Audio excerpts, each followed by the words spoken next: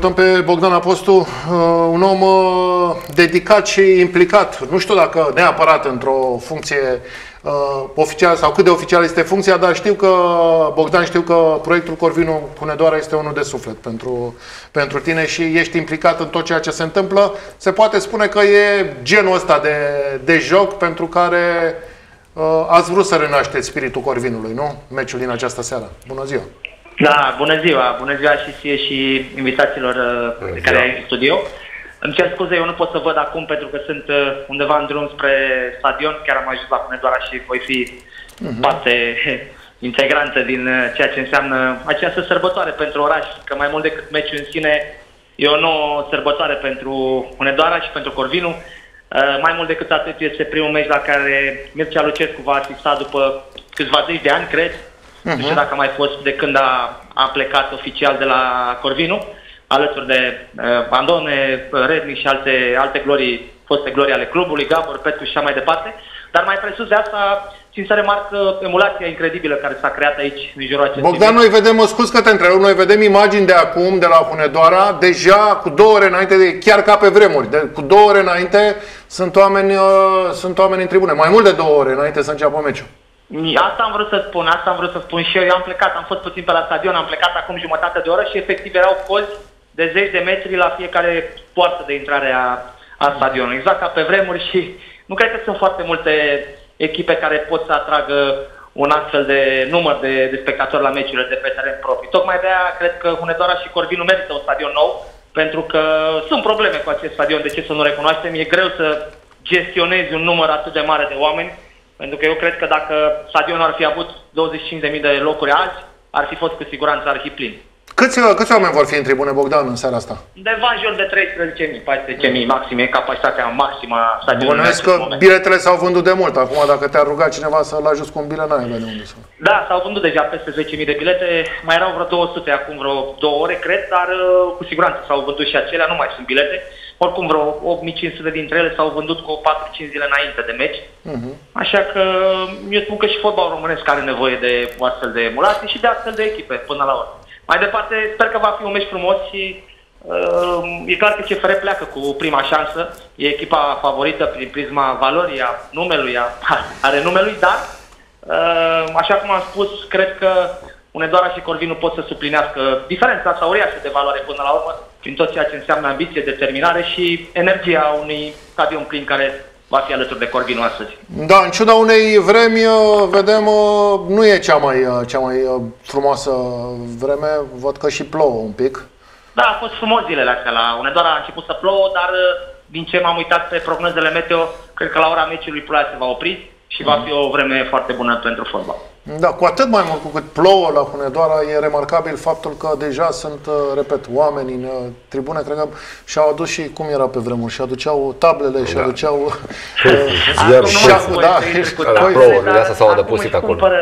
tricouri și fanioane și fulare de la fan shop și se bucură de acest eveniment. E o etapă intermediară, Bogdan, pentru că am mai discutat și am urmărit fie și de la distanță acest, acest proiect. Mi se pare că e o etapă intermediară, dar se fac pași așa cum trebuie, pentru că uh, cu Florin, acolo, antrenor, uh, au fost promovări succesive, uh, s-a cristalizat o echipă în Liga 2, una redutabilă, pentru că dacă ar fi avut dreptul de promovare, echipa s-ar fi bătut în acest an, din, încă din acest an, a revenirea în Superliga, dar înțeleg că de la anul lucrurile vor fi, uh, sunt, de, sunt făcute deja de mersurile, formalitățile pentru ca echipa să aibă drept de promovare, nu, din sezonul viitor. Ați schimbat, nu, forma de organizare?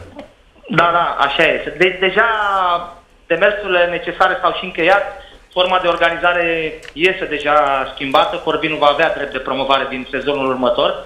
Și chiar și acum, practic, e pe loc, dar având în vedere că Șelimber nu are drept de promovare, dacă ar fi ar avut drept de promovare astăzi, Corvinu este pe loc promovabil, practic, uh-huh. dar uh, asta e situația, se știa, cunoșteam regulamentul de la început.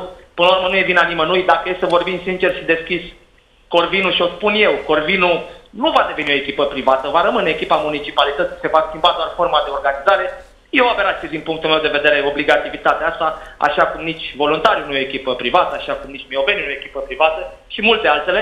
Se schimbă doar forma de organizare, dar echipa rămâne a municipalității.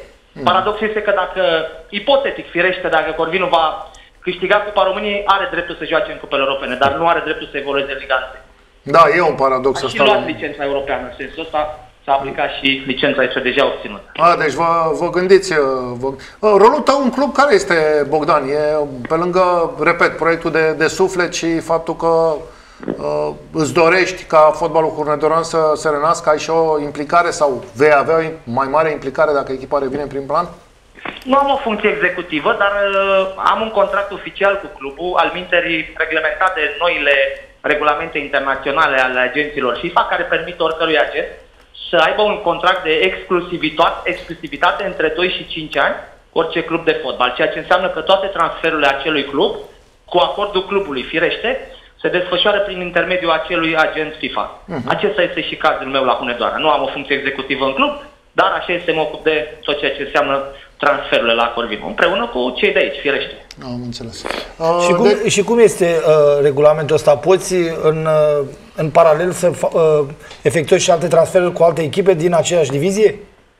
După voce, cred că e Narcis. Da, bună Bogdan. Da. Te salut, Narcis. Da, da, nu are nicio legătură. Până la urmă, uh, regulamentul nu l-am inventat uh, Nu, eu, eu nu știam noi... cum sună, de întreb de curiozitate, că mi se pare o chestie... Sesizezi un conflict, posibil conflict păi de interese? doar întreb, sau... dacă ai voi în aceeași uh, competiție, în aceeași Evident. divizie... Nu se specifică. Nu se specifică, ok. Da, firește, nu se da, specifică. Da, da. Pur și simplu ai voie să deții un contract de exclusivitate. Sigur că da, dar e un cadru legal, într-un fel, ei, într-un fel externalizează toată treaba asta și e normal. Nu e nimic da, cluburile în general externalizează, exact, așa da, da, da. Dar nu se specifică, că nu există niciun fel de interdicție în sensul ăsta. De asta zic că poți să-ți faci meseria mai departe și în alte părți, fără să fie... Da. Eu am mai fost cumva în situația asta fără un contract uh, cert, că nu exista acest regulament cu UTA Arad, probabil știți. Da, da, da. Le-am făcut toate transferurile acolo. Mă rog, asta nu m-a oprit să dețin uh, jucători la alte echipe împotriva cărora juca UTA, dar nici nu s-a pus vreodată problema de nu știu, credibilitate sau lipsa credibilității în sensul ăsta. Uite, Albu, pe care reprezint la Arad, a dat două goluri împotriva UTEI, care fusese împrumutat la UTA cu uh, un an înainte. Uh, Garuti, uh, la fel.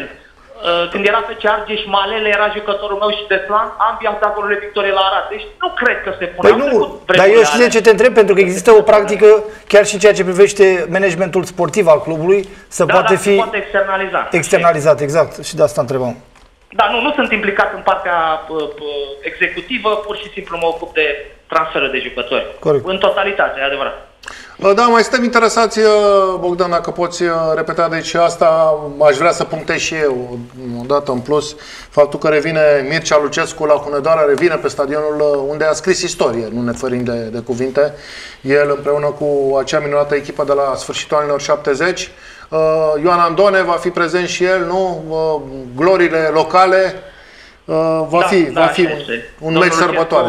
Am înțeles că și a ajuns deja, Andone a ajuns de două zile la Hunedoara. Și da, vor fi, vor fi foarte mulți invitați. Ando cred că a fost pe la 5 pe sus, pe acolo, nu știu dacă Da, da, uite că știi. Da, da, așa Păi nu, dar respectă tradiția, că ținea echipa două zile ca înainte de meci. Împreună cu domnul Lucescu. Cine?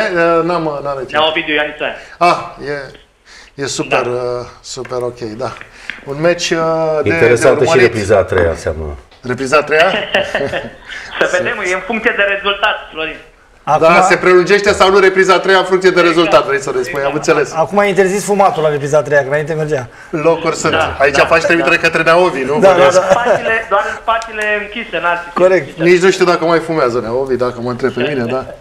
Contează mai puțin asta. Mulțumim mult de tot. A, știi ce mai să te mai întreb? Cum, cu Horațiu, cum s-a încheiat? S-a încheiat? Pentru că ultima oară când uh, s-a vorbit despre Bogdan a fost un uh, spațiu fotbalului românesc, a fost cu litigiul acela cu Horațiu. Uh, ne-am bucurat să aflăm că lucrurile sunt ok acum, sau? Uh, da, sunt ok în sensul în care n-aș mai vrea să vorbesc foarte mult despre asta. Este chiar ultima mea intervenție pe tema aceasta. Consider că am depășit un pic limita și eu sau tot ceea ce am făcut în fotbal cred că am făcut în urma muncii pe care am depus-o și nu în urma vreunui scandal din care am uh, făcut parte. O să-l dau în judecată, sunt pregătită deja actele și o spun public. Am auzit, am auzit o felul de oameni care spuneau că eu plâng după bani sau țip după bani, inclusiv, uh, dacă nu greșesc, că pancul la voi în studio, eu nu țip după niciun ban și o spun public Cred că mă Uh, confunzi. Mare parte din bani, numai o secundă, mare parte din banii pe care îi voi câștiga, dacă îi voi câștiga pe cap și acte în sensul ăsta, îi voi dona cu documente și voi demonstra lucrul ăsta public. Dar onoarea și credibilitatea trebuie să rămână. Iar Cred mie că- nu poate să-mi ia nimeni indemnitatea. O spun public și mențin. Mare parte din banii pe care îi voi câștiga, repet, îi voi dona către case de copii sau către copii nevoiași și voi demonstra lucrul ăsta public. Nu am nevoie de banii lui Horatiu, dar am nevoie ca jucătorii să înțeleagă că, unu, contractele trebuie să fie respectate, demnitatea și onoarea trebuie să existe în fotbal. Și atât. Cred că m-ai confundat, că nu, nu, a, nu a fost vorba despre mine. Eu l-am văzut pe bancă odată când uh, am avut prima Păi intervenție. e lângă mine și el îți vorbește eu- asta. eu zic. sunt. Nici o problemă, știu, știu, tocmai de am zis. Nu, nu cred că am confundat. A fost, cred că prima mea intervenție în, uh, în direct pe tema Da, asta. bine, nu mai contează. Când s-a aflat. Dar în sfârșit, Da, da, da. în sfârșit. Nu are nicio relevanță. Voiam doar să tot, nu am nicio problemă cu Daniel, chiar respect foarte tare. Vreau doar să spun că nu e vorba de suma în sine, cât e vorba de un principiu, iar principiile trebuie să respectate. Atât și nimic mai mult. Am înțeles. Uh, bun. Mulțumim mult de tot. Uh, Așteptăm uh, cu Mulțumesc și eu, interes. domnilor, emisiune plăcută în continuare. Toate bune. Așteptăm cu mare interes uh, meciul de diseară. Nu știu ce mai veni să-l întreb, dar